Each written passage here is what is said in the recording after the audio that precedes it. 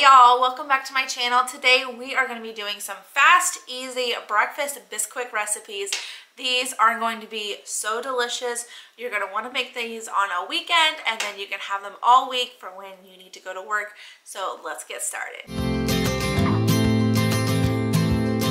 To kick us off, we're going to be making this extremely moist and delicious coffee cake. So to a medium dish, you're going to be adding two cups of Bisquick, and then you're going to add in two-thirds a cup of milk, one egg, two tablespoons of white sugar, granulated sugar, however you want to say it, and then one teaspoon of vanilla. And then you're going to be giving that a good stir.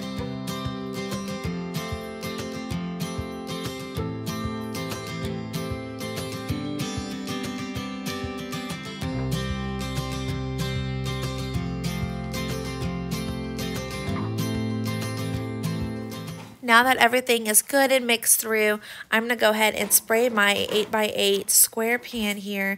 And then I'm just going to go ahead and add in that mixture that we made earlier. And then I'm going to kind of set this to the side because I'm going to be making the topping for our coffee cake. In a small bowl, we're going to be adding a third a cup of Bisquick, a third a cup of brown sugar, and then a teaspoon, or if you're like me, you can add in a lot of cinnamon. I really like things extra cinnamony. And then we're going to put in two tablespoons of cold butter, and I'm just using a knife and cutting these up into little fine pieces because I'm going to be taking my hands and kind of working with the um, Bisquick mixture here and trying to make it into like little crumbles.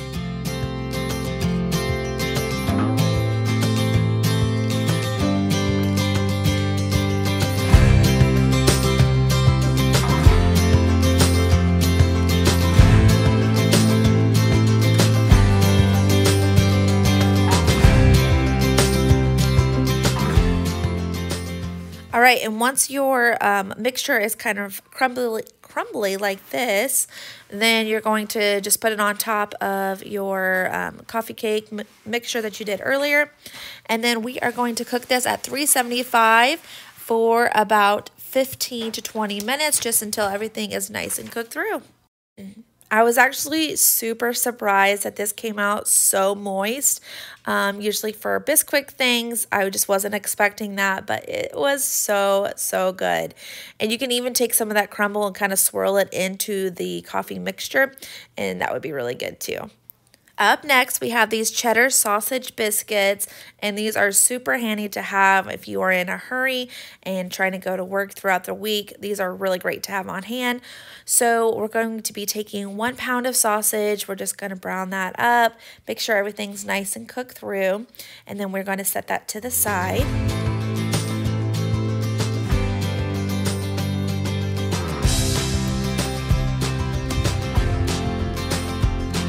Okay, and now in a medium-sized bowl, you're going to take three cups of Bisquick mix, and then you're going to be taking all of that sausage that you ground up, also one and a half cups of milk, and then we're going to give that a really good stir, and then we're going to add in our cheese last after everything is mixed through.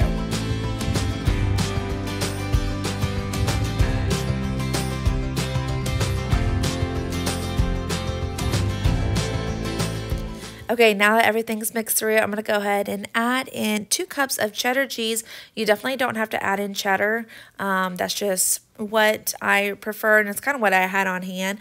But you can definitely add in whatever type of cheese that you prefer to go with this. I do think that cheddar cheese added a really good flavor and texture to this biscuits.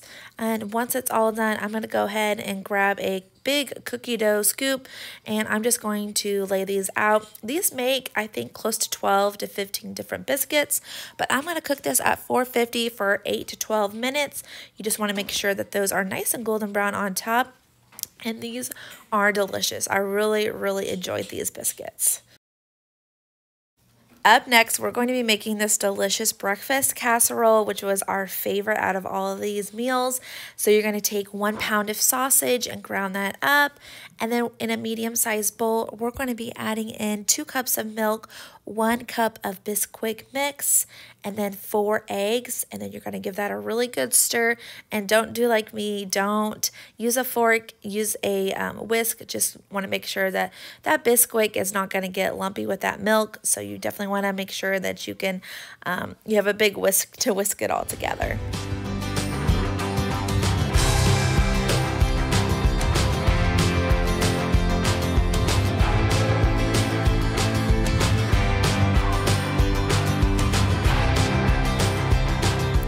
Okay, now that everything's whisked together, we're going to set that to the side.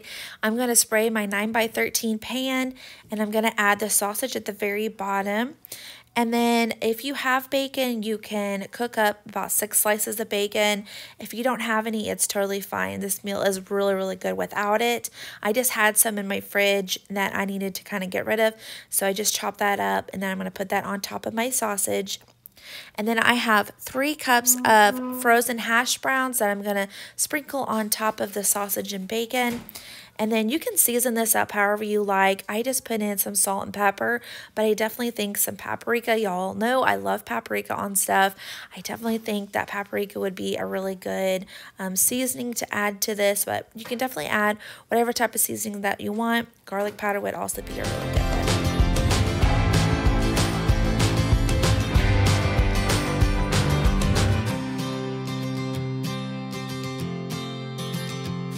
right, now that your hash browns are on top, I'm going to add just one cup of cheese. And then after this is done cooking, we'll add in the, um, the other cup of cheese. Once you have your cheese, we're going to go ahead and pour that mixture on top. And this is what it's going to look like. I am going to cook this at 400 for about 30 minutes. Just want to make sure that middle is nice and cooked through. And then here I'm just putting it on that uh, the, the other cup of cheddar cheese that I was talking to you guys about.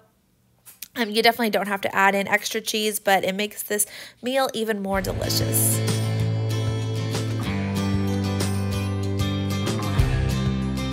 I like to put some salsa on top of my hash brown casserole. Um, we usually have this with some fruit, some apples and oranges, I believe is what we had with this meal.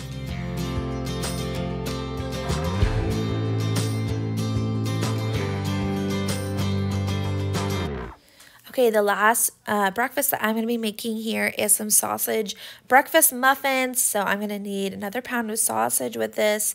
I'm going to ground that up until it's nice and brown and crumbly. And then after that's done, we're going to go ahead and drain it. And I'm going to set it to the side.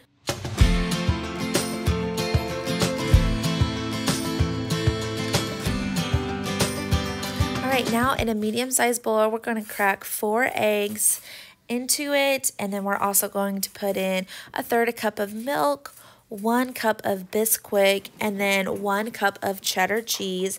We're going to just dump all that in there and we're going to give it a really good stir. Um, I did want to note that you definitely want to use a whisk with uh, this just because when you're mixing with Bisquick, it can be kind of lumpy and you definitely want to make sure that that all gets stirred through properly.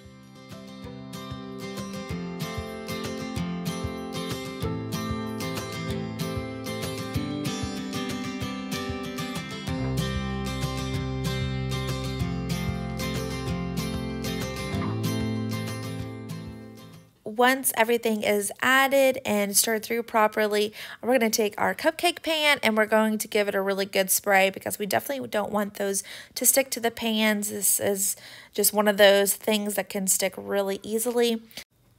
This should make about 12 muffins and then we're to go ahead and cook this at 350 for about 18 to 20 minutes just until everything's nice and cooked through and it's golden brown. And here's what it should look like after they are all done. And these are really good. It's one of my daughter's favorite things that I make for her for breakfast. Thanks for watching this video. I hope that you enjoy this content. Go ahead and give me a thumbs up if you do enjoy me making um, breakfast recipes and consider subscribing below if you haven't already and I will see you in the next one. Bye guys.